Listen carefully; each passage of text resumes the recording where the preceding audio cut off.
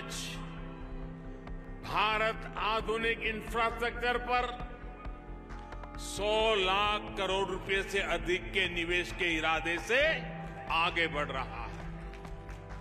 आज भारत की नीति गति शक्ति की है, दो गुनी, तीन गुनी तेज़ी से काम करने की है।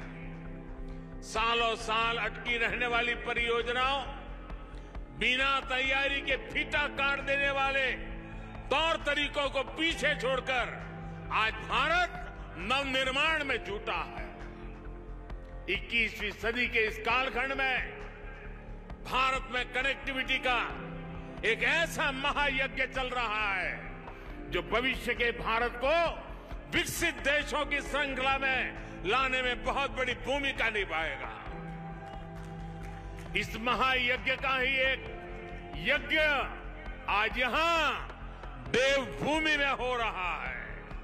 मुझे बहुत खुशी है कि दिल्ली देहरादून इकोनॉमिक कॉरिडोर का शिलान्यास हो चुका है। जब ये बनकर तैयार हो जाएगा तो दिल्ली से देहरादून आने जाने में जो समय लगता है, वो करीब करीब आधा हो जाएगा।